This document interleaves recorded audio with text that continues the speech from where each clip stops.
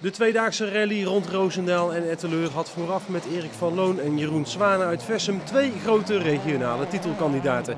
Maar vrijdagavond tijdens de nacht van achtmaal was het al snel gedaan met hun kansen. Van Loon verloor ruim drie minuten door een lekke band en Zwanen crashte hard tegen een boom. Ja, heel enthousiast het onverhard opgegaan. Uh, op het einde de auto op hoge snelheid verloren en een zware crash beleefd. Ja, misschien iets te hard gegaan en ja, macht over stuur verloren en, en zoals ik al zei, een paar boompjes aangetikt. Al snel einde oefening dus voor Zwanen, die toch al geen gelukkig seizoen kent. Want ook in de ELE-rally moest hij uitvallen na deze crash. De strijd om de overwinning in de GTC-rally leek daardoor alleen nog te gaan tussen Bob de Jong en Edwin Schild. Maar de Jong ging zaterdagmorgen niet meer van start vanwege privéomstandigheden. En daardoor reed Schild onbedreigd naar de eerste plaats.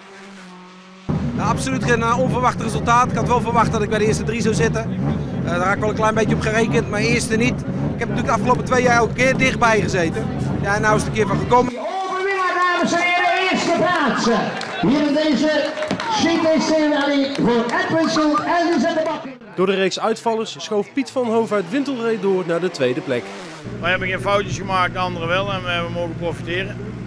Erik van Loon maakte zaterdag veel van zijn verloren tijd goed. Hij werd derde.